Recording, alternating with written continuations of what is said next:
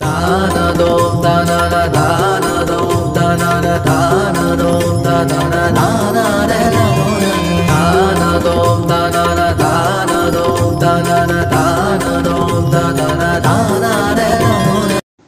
இன்றைய தமிழ் பாடத்திற்காக காத்து கொண்டிருக்கும் அனைத்து மாணவ செல்வங்களுக்கும் இனிய காலை வணக்கம். மாணவர்களே நாம் சென்ற பாடப்பகுதியில் ஆலங்குடி சோமு அவர்களின் புத்தியை திட்டு என்னும் தலைப்பில் ஒரு பாடலை கண்டோம் இல்லையா? கண்டிப்பாக நீங்கள் பாடி பழகி இருப்பீர்கள். அதற்கான பொருளை நாம் இன்றைய பாடப்பகுதியில் காணலாம். கத்தியை தீட்டாதே உந்தன் புத்தியை தீட்டு.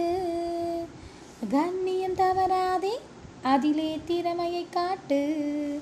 இந்த வரி நீங்கள் கேள்விப்பட்டிருப்பீங்க. கத்தியை தீட்டாத புத்தியை தீட்டு ஆத்திரப்படாத வன்முறை வேண்டாம் சண்டை வேண்டாம் பொறுமையை கையாளு புத்திசாலித்தனமாக யோசி. இந்த மாதிரி வார்த்தைகள் வந்து நம்ம அன்றாட வாழ்க்கையில் கேள்விப்பட்டிருப்போம். நம்மளுக்கே நடந்திருக்கும். யாருக்காவது நடந்ததை பார்த்துருப்போம். இல்லையா? ஆனால் அதில் எவ்வளோ பெரிய பொருள் இருக்குது தெரியுமா? ஆத்திரப்படக்கூடாது. ஆத்திரக்காரனுக்கு புத்தி மட்டும் அப்படின்னு சொல்லுவாங்க. அதனால் சண்டை எப்போவுமே பயன் தராது. உன்னோட புத்தியை வச்சு நீ வெற்றியை அடைய வேண்டும் அப்படின்றது ரொம்ப முக்கியன்றத குறிப்பிடுறாங்க. அடுத்தது கண்ணியம் தவறாதே. கண்ணியம் அப்படின்னா என்னது? டிசிப்ளின் அந்த முறை வரைமுறைன்னு இருக்கு இல்லையா? அது வந்து தவறக்கூடாது. இப்போ ஒரு போர் நடக்கணும்னா கூட இந்த போர் தொடங்குறதுக்கு ஒரு விதிமுறைகள் இருக்குது அந்த ஒளி சங்கொலி ஒழிச்சதுக்கு அப்புறம் தான் ரெண்டு பேரும் போர் ஸ்டார்ட் பண்ணணும். அதில் யார் ஃபஸ்ட்டு செகண்ட் ஃபஸ்ட்டு ஸ்டார்ட் பண்ணுறது அதுக்கும் டிசைட் பண்ணுவாங்க. இன்றைக்கி யார் வந்து போரை தொடங்க போகிறா அப் அப்படின்றது கூட ரூல்ஸ் அண்ட் ரெகுலேஷன்ஸ் இருக்குது போரில் பயன்படுத்தக்கூடிய ஆயுதங்கள் எப்படி பயன்படுத்தணும்? ஒவ்வொரு ஆயுதத்துக்கும் ஒரு விதிமுறைகள் இருக்குது ஆயுதம் இல்லாதவர் கூட சண்டை போடக்கூடாது காயமடைந்தவர்கிட்ட சண்டை போடக்கூடாது. இதெல்லாம் போருக்கான விதிமுறைகள். அப்போ அதில் கண்ணியமாக இருக்கணும். ஒரு முடியாதவனை போய் அடிப்பட்டவன்கிட்ட கத்தியே இல்லை வாளே இல்லை குதிரையும் இல்லை அவனுக்கு தப்பிக்க வழியே இல்லாத போது அவனை போய் நம்ம அடித்து வீழ்த்திட்டோம் அப்படின்னு சந்தோஷப்பட்டுக்கக்கூடாது அது வீரமே இல்லை. அப்படி கண்ணியமாக இருக்கணும் அப்படின்றத சொல்கிறாங்க நான் எக்ஸாம்பிளுக்கு போகிற சொன்னேன். சரியா? இந்த மாதிரி உன்னை விட கீழே இருக்கவங்கள நீ வந்து வீழ்த்துறதுல எந்த விதமான பிரயோஜனமும் இல்லை. அது வீரமே கிடையாது. அப்போ அது கண்ணியமான முறையும் கிடையாது. அதை தான் நான் இங்கே குறிப்பிட வரேன். அடுத்து ஆத்திரம் கண்ணை மறைத்திடும் போது அறிவுக்கு வேலை கொடு. ஆத்திரம் இருக்கும்போது கோபம் இருக்கும்போது நீ என்ன யோசித்தாலும் கண்டிப்பாக தப்பாக தான் இருக்கும். கொஞ்சம் ஆறப்போடு கோவமாக இருக்கும்போது எதையும் செய்யாத எதுவும் ச சொல்லாத. மேக்ஸிமம் பேச வேணாம்னு சொல்லுவாங்க. ஏன்னா மற்றவர்களை புண்படுத்துறது ரொம்பவே வார்த்தைகளால் புண்படுத்துறது ரொம்பவே தப்பு. அது திருப்பி வாங்கவே முடியாது. நெல்லை கொட்டினாலும் சொல்ல கொட்டினாலும் நெல்லை அள்ளிடலாம். ஆனால் சொல்ல அள்ள முடியாதுன்னு சொல்லுவாங்க. நெல்லை கொட்டினா அள்ளிடலாம் சொல்ல கொட்டினா அள்ள முடியாதுன்னு சொல்லுவாங்க. இல்லையா? இது வந்து நம்ம கேட்டிருக்கோம். அது மாதிரி ஆத்திரத்தில் செய்கிற எந்த விஷயமும் அது நல்லதாக அமையாது அப்படின்றதும் நம்ம கேள்விப்பட்டிருக்கோம். இப்படி ஆத்திரம் கண்ணை மறைத்திடும் போது அறிவுக்கு வேலை கொடு நிதானமாக சிந்திச்சு செயல்படு. ஏன்னா சிந்திக்கிறது அப்படின்றது மனிதனுக்குரிய பண்பு. வேற எந்த உயிரினங்களாலும் சிந்திக்க முடியாது. நம்மளுக்கு கிடைச்ச வரம் அது. சிந்திச்சு செயல்படும் பொழுது கண்டிப்பாக உலகத்தையே வெல்லக்கூடிய வாய்ப்பு நம்மளுக்கு கிடைக்கும். எல்லாருடைய அன்பும் கிடைக்கும். எல்லாருடைய மரியாதைக்குரியவனாக நம்மளால இருக்க முடியும். எந்த ஒரு விஷயத்தையும் சிந்திச்சு செயல்படணும் அப்படின்னு தான் எப்போவுமே எல்லாரும் சொல்லி கொடுப்பாங்க இல்லையா? அதுதான் இவர் சொல்கிறாரு அறிவுக்கு வேலை கொடு. உன்னை அழுத்திட வந்த பகைவன் என்றாலும் அன்புக்கு பாதை விடு அப்படின்னு சொல்கிறாங்க பகைவன் கிட்ட கூட நீ அன்பு செலுத்தினா அவன் பகைவனாகவே இருக்க மாட்டான். உன்னுடைய நண்பனாக மாறிடுவான். அதுக்கு எத்தனையோ வரலாற்று சான்றுகள் இருக்குது அசோகன் கலிங்க மன்னன் போர் எடுத்து போகும்போது கலிங்க மன்னன் அசோகனுக்கு நிகரானவன் இல்லை. ஆனால் போர் செய்து என்ன லாபம்? ஒரு ரெண்டு பக்கமும் உயிர் சேதம் பொருட்சேதம். அப்போ அங்கே இருக்க குப்தர் அப்படின்றவர் சொல்கிறார் வேண்டாம் அசோகன் நீங்கள் வந்து இப்போது போர் தொடுத்து நீங்கள் வீரன் நிரூபித்து ஒன்றும் ஆக போகிறதில்ல நீங்கள் வீரன் எல்லாருக்குமே தெரியும். நீங்கள் மாவீரன் சக்கரவர்த்தின்னு உலகத்துக்கே தெரியும். ஆனால் இந்த போரை தவிர்க்கிறது மூலம் உங்களோட புகழ் இன்னுமே ஓங்கும். வேண்டாம் அகிம்சையை கடைபிடிங்கள் அப்படின்னு சொல்லும்போது முதல்ல வந்து அவருக்கும் கோவம் வந்துச்சு. அசோகன் போர் தவிர்த்தானா உலகம் எப்படி சிரிக்கும்?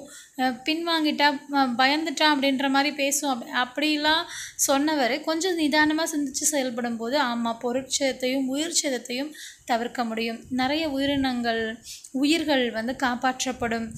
ஏன்னா ஆயுதங்கள் விலங்குகளையும் பொருளை ஈடுபடுத்துகிறாங்க மக்கள் மக்கள் ஆஹ், ஆடவர்கள் ஆண்கள் தான் ஈடுபடுத்துகிறாங்க ஒரு ஆண் ஒரு வீட்டில் இல்லைன்னா அந்த குடும்பம் நிலைமை என்ன? அப்படியெல்லாம் யோசிக்கும் பொழுது அவர் உண்மையை புரிஞ்சுக்கிட்டு தவிர்த்த போது அவரை சண்டை போட்டு போரிட்டு ஜெயிச்சு அவர் கிடைச்ச பேர் புகழை விட இதை தவிர்த்ததுனால கிடைத்த பேரும் புகழும் நட்பும் அதிகம் அப்படின்றது வரலாறு சொல்லுது. இந்த மாதிரி எத்தனையோ வரலாற்று சான்றுகள் இதுக்கு இருக்குது அதைத்தான் நம்மளுக்கு எடுத்து சொல்கிறாங்க இதெல்லாம் எ- நமக்கு கிடைச்ச பொக்கிஷம். அதான் சொல்லுவாங்க உலக நாடுகளை தோண்டும் போது கனிம விலங்குகள் கிடைக்கும். இந்திய நாட்டை தோண்டினா மட்டும் கதை கதையாக கிடைக்குமா? எத்தனை கதைகள் எத்தனை அறங்கள் எவ்வளோ சொல்ல கொடுக்க சொல்லி கொடுக்கப்பட்டிருக்கு எவ்வளோ சொல்ல முடியுமோ அதை சொல்லி கொடுத்துக்கிட்டே இருந்தாங்க சொல்லிக்கிட்டே இருக்காங்க. எப்படியாவது நல்ல விஷயங்கள் நம்மளை வந்து அடைஞ்சுக்கிட்டே இருக்குது அடையணும் அப்படின்றது தான் எல்லாருடைய குறிக்கோளாகவும் இருக்குது ஏன்னா நம்மளுடைய வாழ்க்கை எப்படிப்பட்டதாக வேணாலும் இருக்க முடியாது.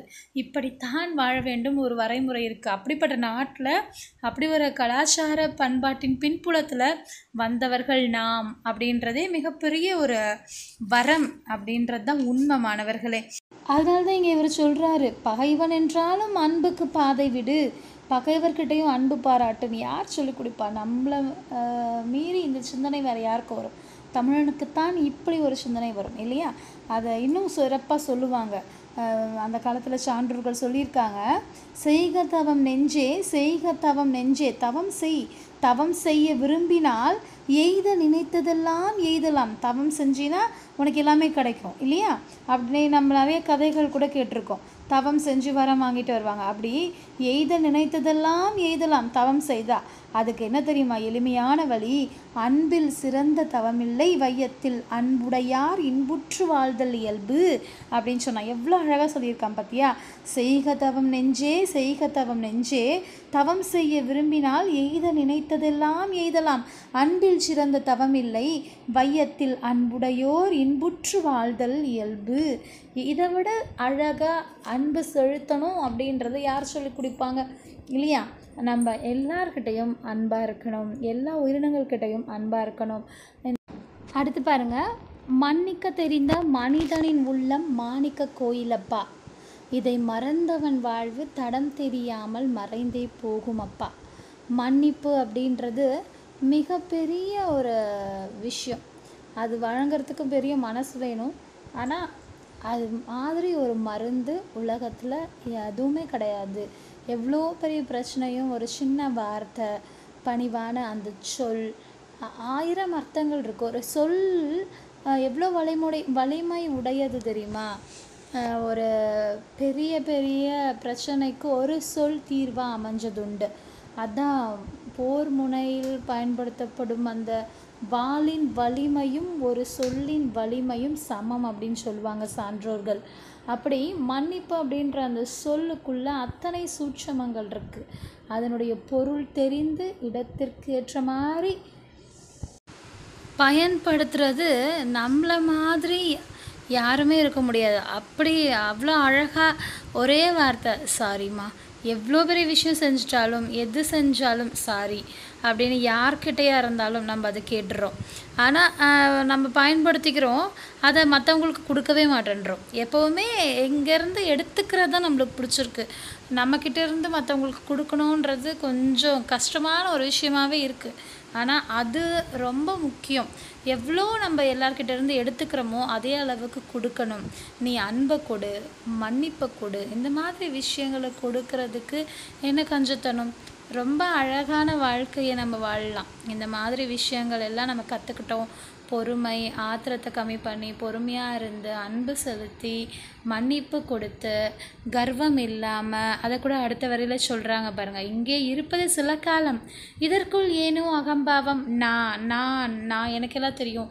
எனக்கெல்லாம் தெரியும். நான் வந்து கரெக்டாக தான் செய்வேன். அப்படி யோசிக்கிறத விட கொஞ்சம் நம்ம சிந்தித்து செயல்பட்டோம் அப்படின்னா நம்ம உற்றார் உறவினர்கள் அண்டை அயலார்களுடன் ஒத்து வாழ கற்றுக்கிட்டோம் அப்படின்னா நம்மளுடைய வாழ்க்கையில் எல்லா நாளும் இன்பமான நாளாக தான் இருக்கும். அப்படி ஒரு தெளிவான ஒரு வாழ்க்கையை அழகான ஒரு வாழ்க்கை தெளிவான வாழ்க்கை எப்போ கிடைக்கும்? சிந்திச்சு செயல்படும் போது அறிவு தெளிவாகும் தெளிவு அழகாகும் வாழ்க்கை ரொம்ப அழகானதாக இருக்கும். இல்லையா? அதுதான் சோமுவும் இங்கே சொல்ல விரும்புகிறாரு இங்கே இருப்பது சில காலம் இதற்குள்ளேனோ அகம்பாவம். இதனால் உண்டோ ஒரு லாபம்? இதை எண்ணிப்பாரு தெளிவாகும். கொஞ்சம் யோசிச்சு பாரு உனக்கே எல்லாம் புரியும். யாரும் உனக்கு சொல்ல வேண்டியதில்லை உனக்கே எல்லாம் தெரியும். ஆனால் நீ சிந்திக்க மாட்டேன்ற சிந்திச்சு செயல்பட்டேனா உனக்கு எல்லா விஷயமுமே புரியும் அப்படின்னு சொல்லி இந்த பாடலை நமக்கு வழங்கியிருக்காரு. அருமையான கருத்து ஆலங்குடி சோமு அவர்கள். எவ்வளவு அருமையான கருத்துக்களோட அழகான பாடலை நம்மளுக்கு கொடுத்துருக்காரு இல்லையா?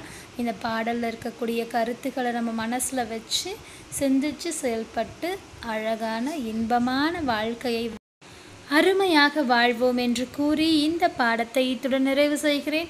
மீண்டும் அடுத்த பாடத்தில் சந்திக்கிறேன். நன்றி மாணவர்களே.